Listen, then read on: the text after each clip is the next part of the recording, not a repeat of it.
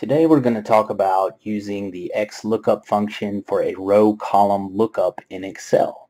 Um, one thing I wanted to point out before we get into this is the XLOOKUP function is only available in Office 365 subscriptions, so anything else does not feature this function.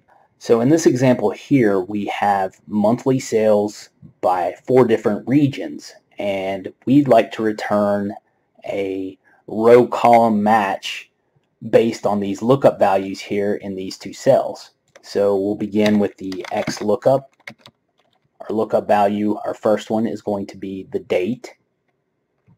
We'll hit F4 to lock that down. Our lookup array for our first lookup is going to be our row lookup. So we want to select this first column containing the dates. We'll hit F4 to lock that down.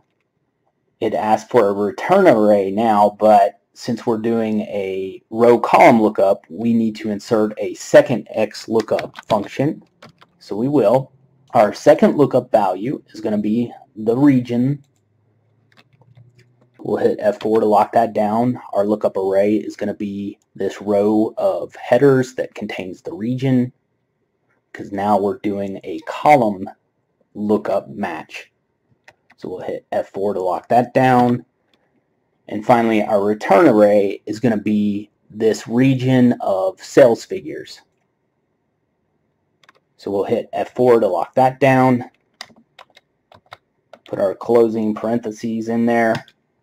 And you can see the point at which the South and June 30th, 2019 meet is 47, slightly over $47,000.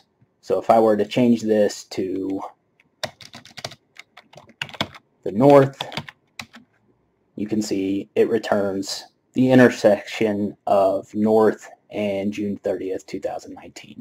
So that is how you can nest the X lookup for a row and column lookup. Thanks for watching.